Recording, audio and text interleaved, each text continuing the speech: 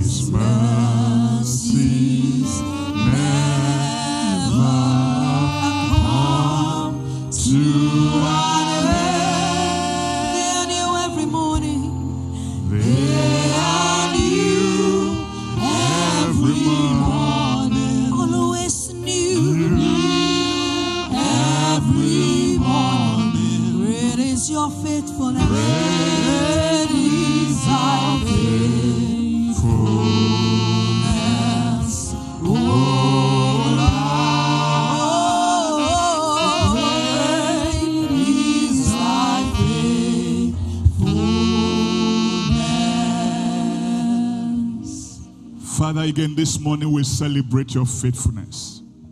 Thank you for the privilege to come into your presence this morning. We thank you for your mercy and your steadfast love that will not cease. Despite all the things that are happening around us, Lord, we return every praise and glory to you. That you and you alone will be glorified in the name of Jesus Christ. Thank you, our Father and our God. In Jesus' name we have prayed. And the saints of God will say, Amen. Beloved, it is good to come into your home this morning and to fellowship with you. We thank you for always encouraging us and all the texts and the calls and the messages you've been sending. It is well appreciated. And to the children, I want to believe that you've done your assignment. I'm sure that by next Sunday, a link will be given to you where you can upload your answers, your videos, and all.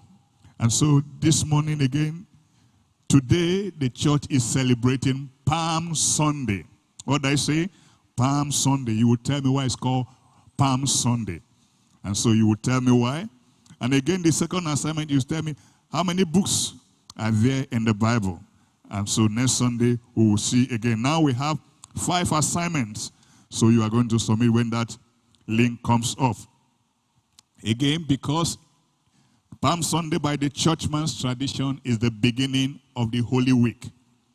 And so, by the mercies of God, you understand we are not coming from the, the sanctuary, we are coming from the studio this morning, uh, trusting the Lord that uh, as long as there's a, a lockdown, we will be coming from this platform, trusting that the Lord again will be bringing His word as accurately as ever.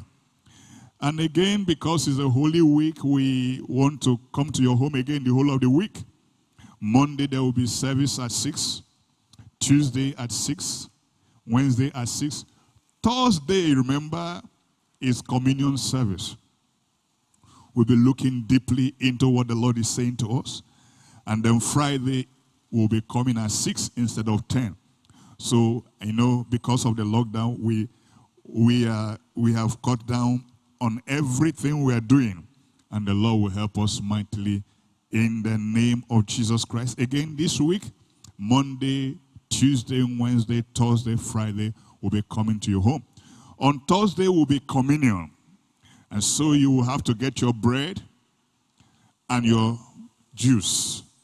Uh, because if I say wine, some people will take advantage of it, and you know what I'm talking about. Don't look at anybody. And the Lord will help us mightily in the name of Jesus Christ. So, this morning, I want us to look at a few things that the Lord is saying to us. The theme of our topic is The King Has Come. But before I go into that message, I'd like us to understand what is going on. It looks like it's a parable. And you know, according to the book of Hosea, chapter 2 and verse 14, he says, I will take them to the wilderness, and in that place will I speak with them. Beloved, that is the most important thing. What is the Lord saying to us? It looks like there is a dialogue between the church and his and the owner of the church, Jesus Christ. On a day like this, being Palm Sunday, could you imagine that there is nowhere that there's a gathering? The Lord is saying something to us. There's no pomp and pageantry that used to follow. we need to ask ourselves some questions. I'm trusting that this thing that is happening to us will be for good. So that the narrative of the church will align with the purpose of, of Jesus Christ. And so it's Palm Sunday, yes, that is what we call it. But what those things that we are holding on to, the palm and the all the ceremonies are not there. You are in your house. It's making us to see the vanity of life. You may have money, you may have connections of what value it is as of moment. Can I tell you? It is vain. And I want to thank God because the Bible says there is nothing that is new under the sun. Everything the Lord is helping us. And I'm trusting God that His mercy will be our portion in the name of Jesus Christ. The things you used to hold on to, the things that you are holding on to, just during the week, a friend called another friend and said, Please, I am in so so and so place. Keep praying for me. And the friend asked him, I said, But you you are you have gone there. He said, Is it gone you used to fight Corona? It has defied every other. Can I tell what it has defied? Man, it has not defied solution. Because when the Almighty God brings the solution, the story will become history. Amen? All he had defied is what men have put in place. He had defied our best technologies, our best medical teams, everything that man has called best, so that man will not glory, but man will come to the knowledge of the true God. For the church, like I said, it's a dialogue between Jesus and his church. What is he saying to us? You know, it's like if you look carefully to the book of John, chapter 4, from verse 1 through to 20, you understand what I'm trying to say. John's Gospel, chapter 4, from verse 1 to 20. I'm not going to read, but I want you to, because you have enough time after the service to go through. There was a dialogue between a woman of Samaria and Jesus Christ, representing the religion we have. You know, like our church, I see some people will say, Oh, where's the screen? Where is all where's the air conditioner? You know, the Lord was dialoguing about the competitive spirit in his church. My church is better than yours. My denomination is greater than yours. Where are you now? Can I hear you? None of those things matter. Can I tell you the honest truth? That's the dialogue. You know, Jesus told that woman, He said to the woman, If you knew him who was asking you to give water, you ask for the waters of the living water. And in their discussion, the woman said to her, But this is how we ought to worship. This is how, this is the prescribed order. I don't want to talk about anything. Let's remove the speck in our own eye in the chapel. This is the order of service. This is how it must be. There must be this and this. You know, some of the things we want to die for do no longer exist. If you, if you notice, we just cry over some things. Let me be specific. Like the Nicene creed. Oh, will they sing the Nicene creed? Where is Nice today? It's in the heart of an Islamic Republic of Turkey.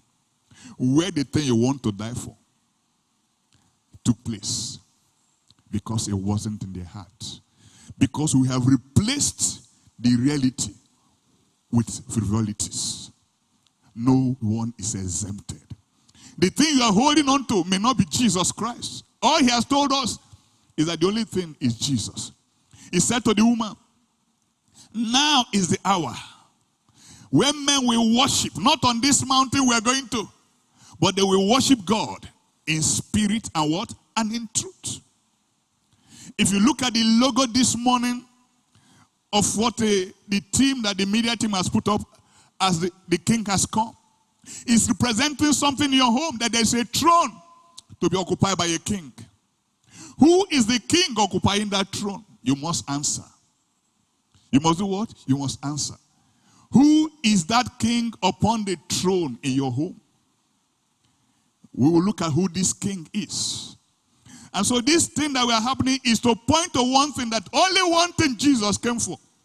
Can I tell you? The kingdom. At his birth, look at what he said. Turn your Bibles with me to the book of Luke, chapter 1 and verse 33. Luke 1 and 33. It says, And he shall reign over the house of Jacob forever, and of his what? Kingdom. When the Lord was teaching us the Lord's Prayer, Our Father who art in heaven, hallowed be your name. Your denomination come? No. His kingdom. Your pastor come? You know, on campus here we listen to children. We see two fellowship fighting because they are saying this general overseer is better than this general overseer. This denomination is better. Where are you this morning? In your house. With who?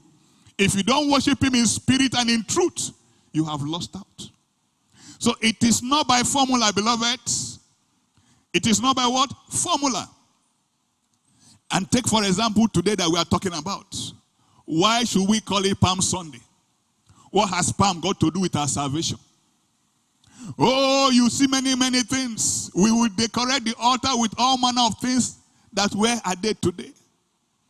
If by last year, I'm sure in your church they didn't do those things. And somebody is telling like somebody, he said, these things are not in scripture. I don't care what the scripture says. But this time, can I tell you honest truth? You need to care about what the scripture says. Hallelujah. Amen.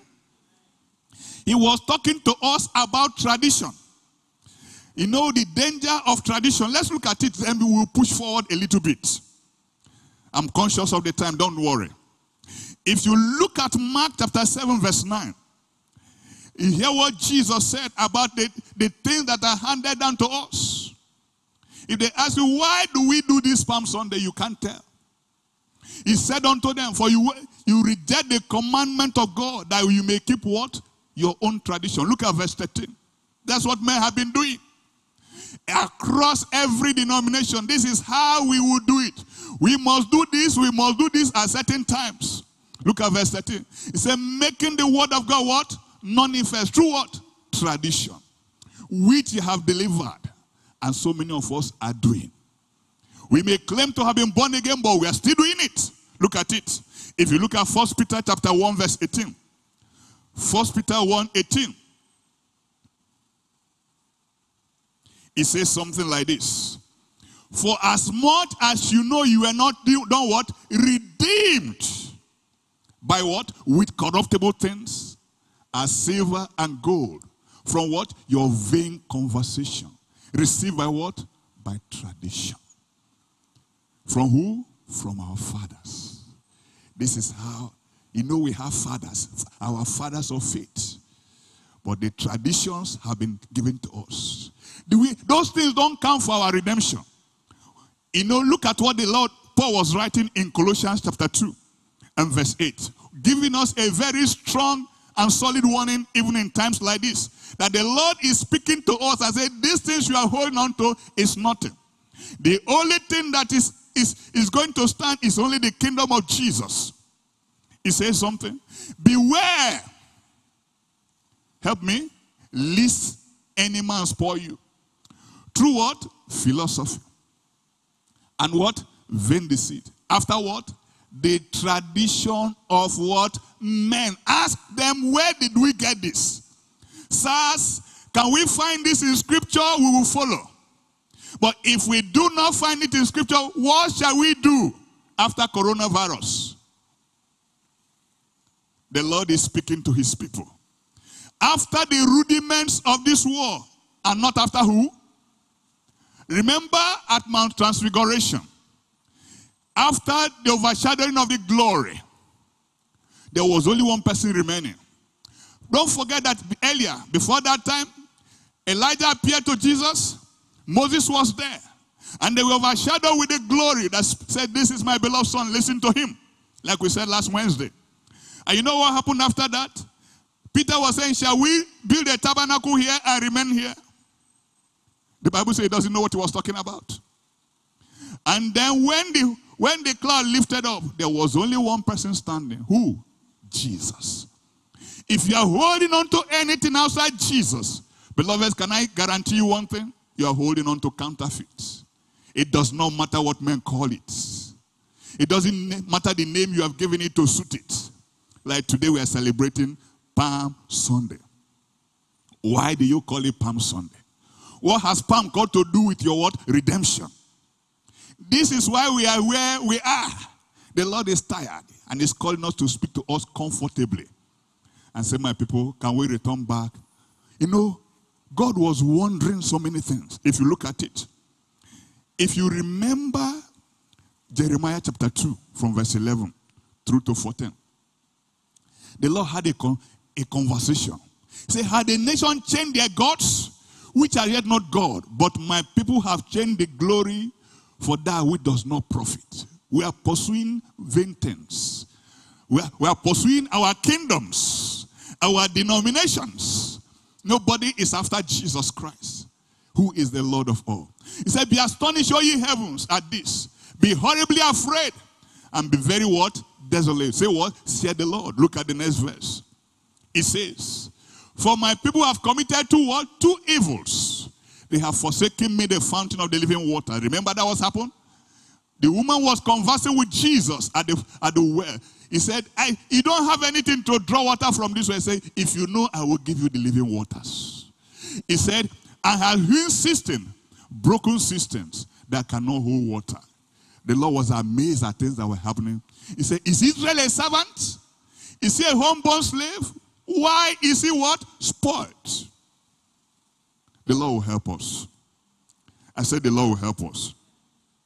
So, because of tradition, you know, the Bible talks about some things.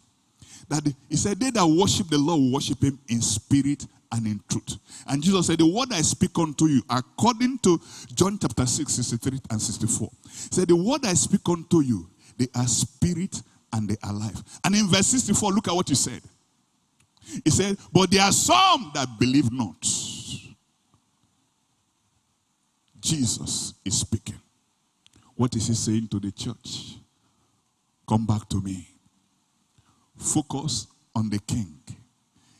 Let's push forward a little bit. You know, why do we need to listen to God? He said, for, he said the spirit gives light and life. He said, for the letter kill it.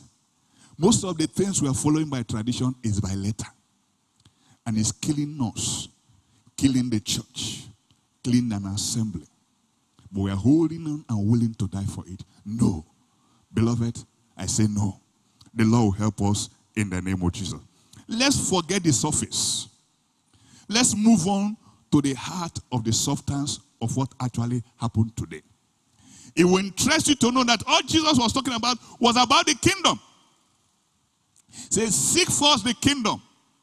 And what? Every other thing will be what? Added to you. That's the first thing to seek. You remember when he rose from death in Acts chapter uh, 1, verse 3 and 6. All he was talking about was the kingdom. Everything Jesus, the Bible says, and he began to preach the gospel of the kingdom. He sent the apostles, say, preach ye the gospel of the kingdom, and then heal the sick and deliver the oppressed. Everything outside the kingdom is not what God is talking about. That's why here we say we are what? A kingdom minded people. Let's follow him. The Lord has never left us. And the Lord will help us in Jesus' name. Thank God for the believers here. Corona is bringing everybody, like he did to Jehoshaphat. He said, What shall we do? We know, know we don't have solution, but our eyes are on you. It was then he told him in 2020, believe the Lord God and believe the prophet. You will prosper. I'm praying that as you believe the Lord this year, you will prosper in the name of Jesus. We have cleared the issue of fear. We are moving on to what the Lord is saying to us. And we're going to pray this morning. I want us to understand what actually happened on today that we are celebrating. It is very, very important. If we miss this one, then we're in trouble. And the Lord will help us. So I want to read for you to see some things in the book of the gospel according to Matthew 21. I want to read from verse 1. I know we have read that in second, uh, first reading and second reading. And when they drew near unto Jerusalem, they were come to Bethphage unto Mount Olives. Then sent Jesus two disciples, saying, Go into the village over against you, and straightway you shall find an ass tied, and caught with her. Loose them and bring them to me. If any man say unto you, you shall say, The Lord had need of them. And straightway, what will happen? It won't argue. Oh, may God give us understanding. May He give us understanding of what I'm talking about. He said, and this was done that it might be fulfilled, which was spoken by what? The prophet. Do you notice if you go to the John's book that we read, you understand something. That he was weeping for Jerusalem because they didn't understand. Look at it. Go to that book of uh, the gospel. John's gospel. Um, no. Luke, eh, Luke 19, 28. See how it started. And that was why he was weeping. And when he does, had thus spoken, what has he spoken? He was telling them about the kingdom and the king, expecting them to understand what he was saying about that day. It was like a normal day like this, but the prophecy was to be fulfilled, and they didn't know it. They didn't understand. So it was in the days of Noah, when you know Methuselah was what it means is the day the day I die, the rain will come, or the year I die, the rain will come. And all these years, he was they were saying a very long, long, long period until Noah entered the ark. I mean, until Methuselah died and Noah entered the ark. Nobody understood. So it is in our day today that we don't fully understand what God is saying to us as a people. We don't really get it to understand that the Lord is saying something to us. This day we are celebrating that the king has come. But who is this king? Let's, he said they didn't understand. Even though people were singing, Hosanna in the highest, blessed is he that comes in the name of the Lord. The king has come. He has just finished telling them a parable of the king and the kingdom. They failed to understand. Hey, he sat down and looked at the temple. That's the temple oh. they were, they were taking pride for. He said, when the, when the enemy finishes with you, you will understand. The reason is that you did not understand what has happened today. I'm praying that you will understand the seasons and the times today in the name of Jesus. If not, there will be trouble. Great fulfillment of scripture was going to take place. Religious men were fighting him. Hey, keep tell your children to, I mean, tell the students, you know all these kind of things you do. He said, Come on, keep. He said, If these children will keep quiet, the stones will begin to take your place. My prayer is that stone will not take your place in the kingdom of God. But who is this king? You know, if you look at where it started from, it's a prophecy that says, if you go back to the book of Zechariah, let's look at it together. Look, look at the purpose of today. In Zechariah chapter 9, let me start from verse 9. Because verse 8, he gave a very wonderful prophecy that we may be looking at during the week, especially at communion service. He said, Rejoice greatly, O daughter of Zion and of Jerusalem. Behold, your king does what?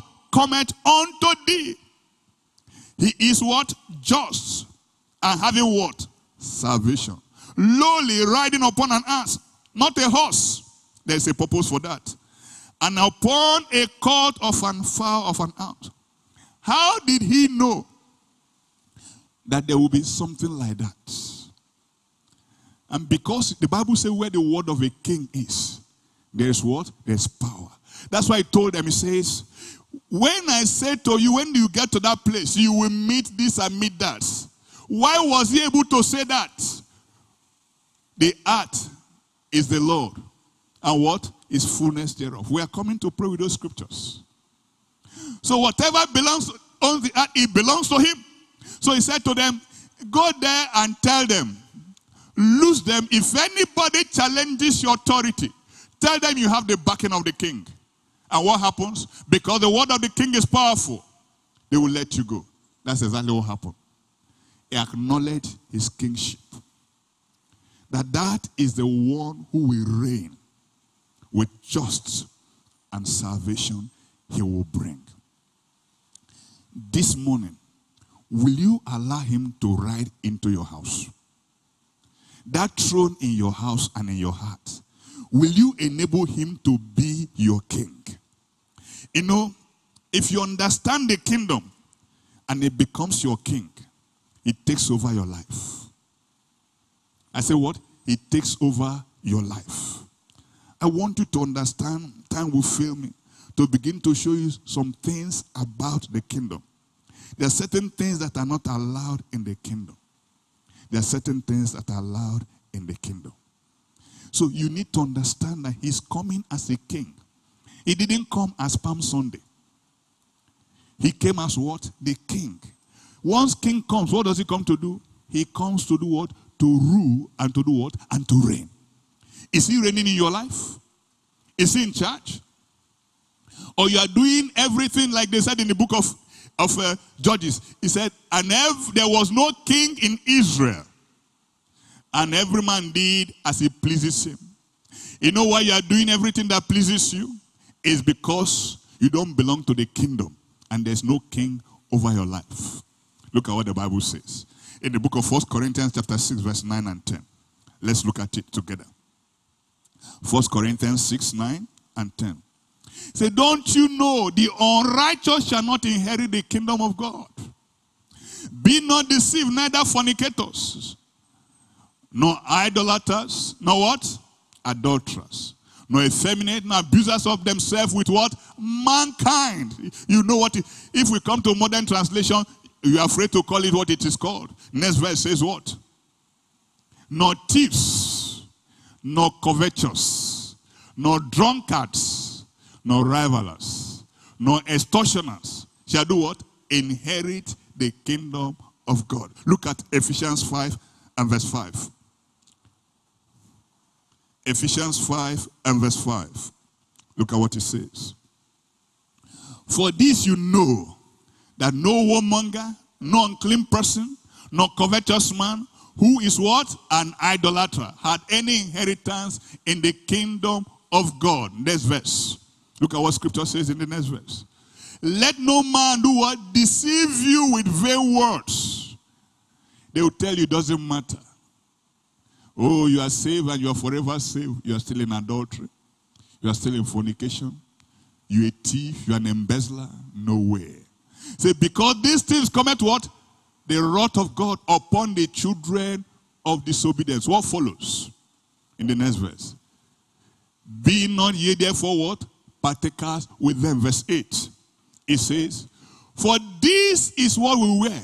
Because the Bible says, you know, he said, But now you are light in the Lord. Walk as children of light. Therefore, if any man be in Christ, he is a new creature. Behold, all things have passed away. Behold, all things have become what? New. There are certain things that can be found in our tabernacle as children of God. Romans 14, 17 says, Romans 14, 17 says, it says, the kingdom of God is not meat and drink, but what? Righteousness. And what? Peace. And what? Joy. Where? In the Holy Ghost. Will you allow him to reign in your life? There are consequences when he came to reign. You know, God had intended for Israel not to have another king but, but him. And they decided they were going to choose other gods. I mean, like other nations, they will serve like their kings. God said, okay. But what I have intended to be is to be your king. And this morning, the Lord, in this Sunday, we are celebrating a new beginning. He wants to be the king in your home. Not only in your home, he wants to be the king in your life. Who is this king? Let's look at it together. If you turn your Bibles with me to the book of Psalms, I want to sh- show you when he comes, what happens. Psalm 2. I want to begin to read from verse 1. Psalm 2. So why do the heathens rage? The, heat, the people imagine a vain thing. That's what we're trying to do. Go ahead. He said, The kings of the earth send themselves, and the rulers take counsel together against the Lord, saying against anointed. Look at what he says. Let us break their bands asunder, cast away their cause. We don't want to live as if God is existing. Our science can provide things for us. Our connections can do things for us. No, when we plan to do great things, we have men. They think the technology is there to answer every question, except one that water can wash away. You know, they say the best answer to corona is to wash our hands. Yet, the submachine guns can't arrest it. Executive orders can't check it out of now. They can't legislate it out. The judiciary cannot sentence him to death. Where are we? Our mathematics, our computations cannot find a question for him. The, the chemicals can, but say, they say, just wash your hand. Doesn't that tell us something? He said, He that seated in heaven shall do what? Laugh at them. Please, can you hold on? Let's see what the message translation says concerning this verse 4. Quickly. The message translation says something. It said, He enthroned God breaks out what? Laughing. At first, he's, he's amused as what? Their presumption. That we can presume we can do without God. We can go on without him. He doesn't exist. We deride him. We do everything against him. Can we go back to that verse, verse 5 in King James? Let's so that we can say, He that sits in heaven, I mean, then shall he speak unto them in his wrath. Verse them in his own displeasure. Verse 6. This is God talking. Say, Yet, yet have I set my king upon what? My holy hill. Where? Zion. Who is this king? Let's go ahead. I will declare the decree the Lord said unto my Lord, Thou art my son, the son, the son Jesus. Not just a prophet, he is the son of the living God. There was confusion one day. The Lord called the apostles. He said to them, Who do men say that I am? They began to say he's Jeremiah. Some say he's a, another prophet, Isaiah. He said to them, But whom do you say that I am? Peter summoned not the courage, say, Thou art Christ, the Son of what? The living God. Until you acknowledge him as the Son of the living God, there is trouble. He is the Son of the living God. He is the King that God has set upon the mountains of Zion. Let's read on. Hallelujah. Psalm 2. Psalm 2 and verse 6. Sorry. Psalm 2 and Say, yet I have set my king upon my holy hill, Zion. Verse 7. I will declare decree, and I said unto me, Thou art my son, this day have I begotten you. Let's go to verse 8. It, then he said, Ask of me, I will give thee the hidden for the inheritance, the uttermost earth for thy possession. Look at what it says. Thou shalt break them with a rod of fire, thou shalt dash them in pieces like a potter's vessel. It says what? Be wise, therefore. O ye kings, be instructed, ye judges of the earth. Verse 9. Serve the Lord with fear and rejoice, what? In trembling. That's what the Lord says. Look at what it says. Kiss. Who? The Son. Kiss who? Embrace Jesus. Accept him as your personal Lord and Savior.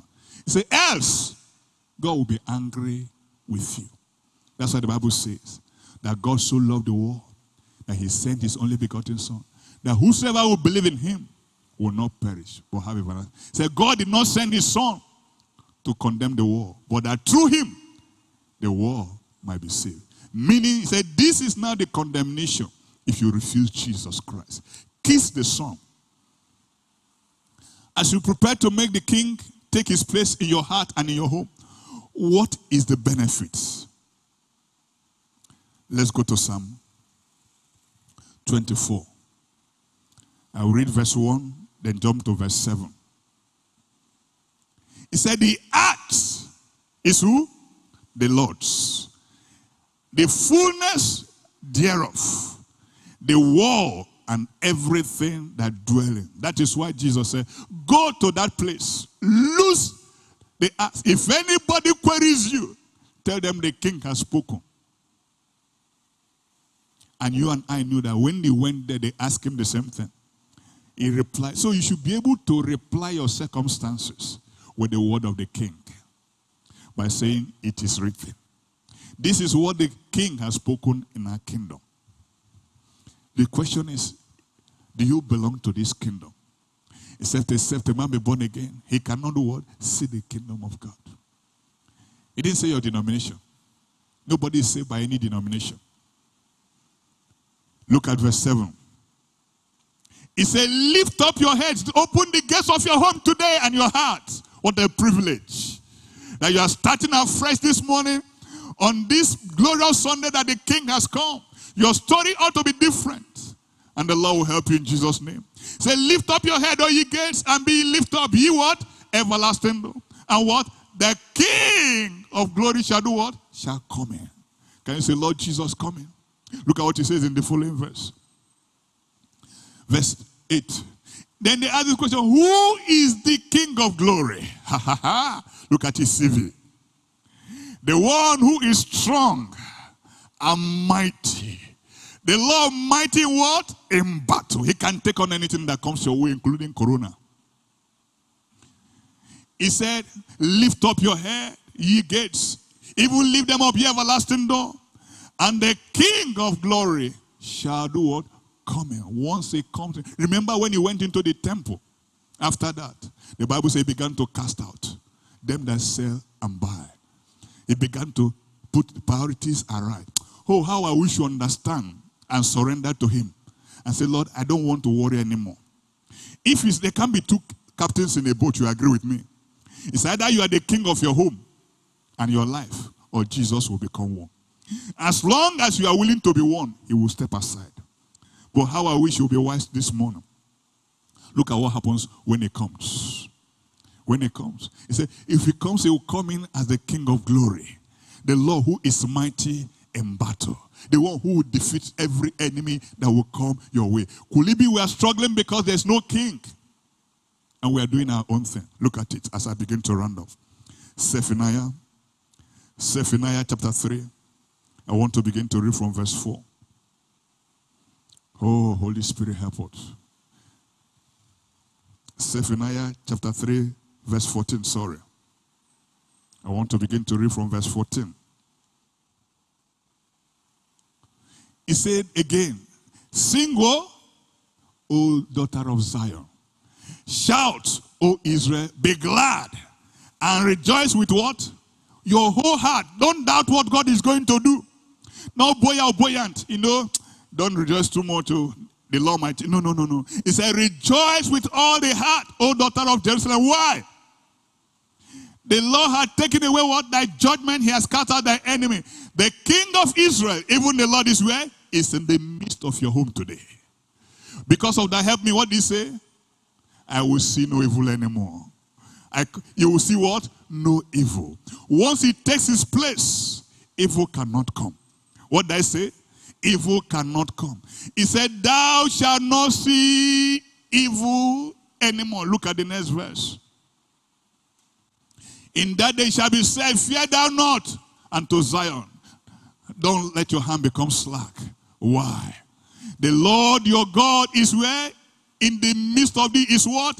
Is mighty. He will do what? He will save. He will do what? He will rejoice over thee with what? Joy. He will rest in what? In his love. He will be singing over you. Hallelujah. Can you imagine the Lord walking around in your house? And you think any, any madman will cross his path? No way. Just let him be king. And once he's king, he takes over. You think sickness will come? You think poverty will come? You know, like people say, who born monkey? You know, allow him to be king. Allow him to be king. At time is fast spent. Uh, let's rise. Let's rise. Oh, how I wish we could still talk more when the king will come. When the king will come. When the king has come. Can you ask him to come? Just say, Lord Jesus, come into my home. Come into my heart. From today, be my king. Be my king. Be the Lord over my life. Lord, I'm not paying you a lip service. I don't want to run my life again. I've tried to run it and I've ruined it. That's why I found myself in where I am. But Lord, today let it be on record. Let heaven be a record that you are the king of my life. You are the king who has come in today and is marking a great and a new beginning for me. Lord, I drop those things that do not matter. I, all the vain things that have charmed me most, I drop them at your feet today. Lord, be the, be the king in my home. Everywhere you are standing this morning, everywhere you are praying this prayer, maybe you are listening to it after today. I want you to know that the same grace available to you. You know what you are going to do? You are going to open your mouth and say, Let the person beside you say, Lord, you are my king. Lord, you are my king. Today, ride majestically into my life. Defeat every foe. Defeat every foe. Defeat every enemy.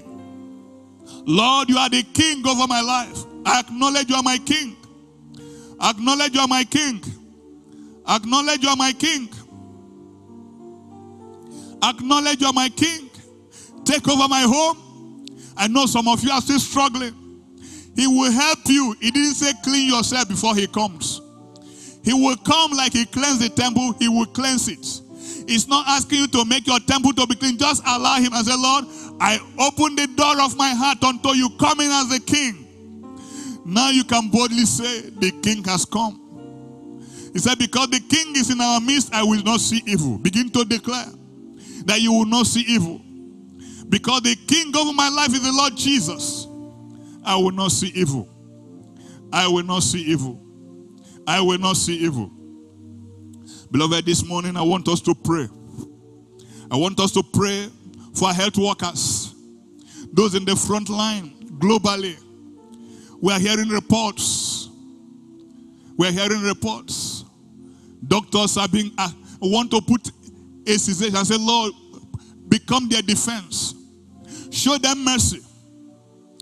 Every health worker you know, it's, it's, it's a terrible thing. Just two days ago, LUTH was reporting somebody who had the coronavirus came to, I mean, came into the world, didn't tell them. They were, they were hiding it. Can you imagine the danger? The young man at the border said, Guns cannot stop corona. We are not kitted.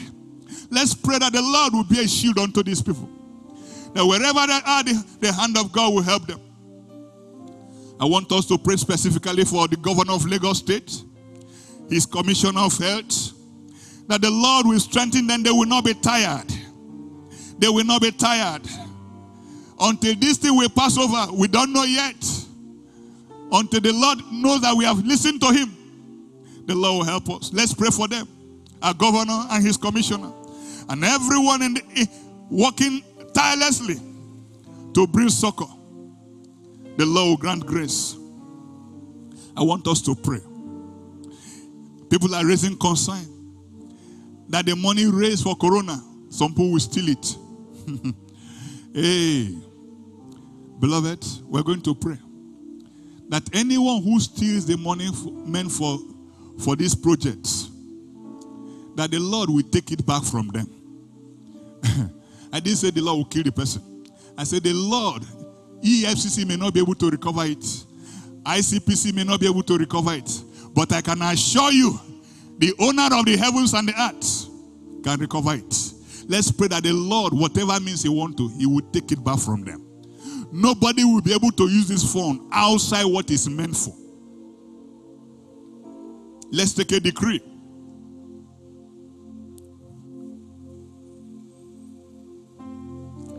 Now the king has come into your home.